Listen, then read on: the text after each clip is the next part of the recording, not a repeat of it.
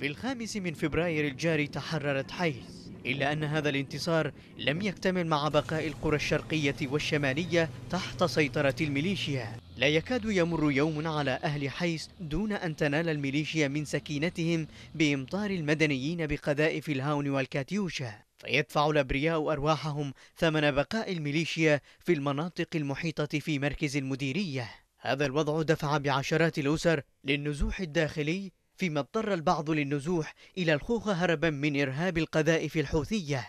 بالتوازي مع ذلك أقدمت ميليشيا الحوثي على تهجير سكان عدد من قرى شمال حيس من سكان سفوح جبال دباس وما حوله. لتتمركز في مناطقهم القريبة من الخط الإسفلتي الرابط بين حيس والجراح بهدف إعاقة تقدم قوات المقاومة والجيش الوطني. في الاتجاه العسكري أيضا لا يزال التقدم الميداني بطيئا بينما ينفذ الطيران غارات شبه يومية تستهدف تجمعات الميليشيا المتمركزة في المناطق الواقعة بين حيس وجبرات مصادر محلية تؤكد أهمية تحرير الجبال المحيطة بحيس من الجهات الثلاث وتمشيط القرى المنتشرة في سفوحها لتأمين المنطقة المحررة.